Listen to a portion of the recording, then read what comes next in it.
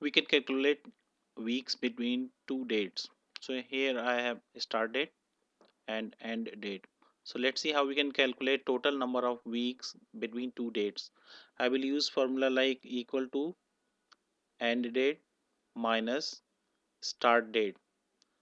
And I will cover this formula within bracket and divided by 7 because in one week we have 7 days so we can see that total weeks between these two dates are 26 so let's understand how this work.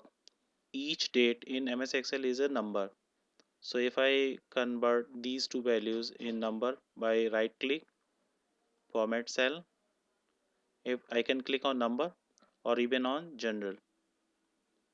So we can see that these are two numbers.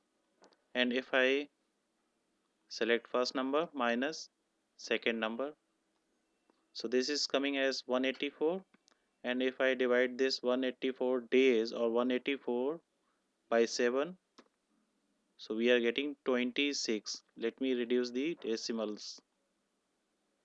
So this is how we can calculate total number of weeks between two dates by using the formula of minus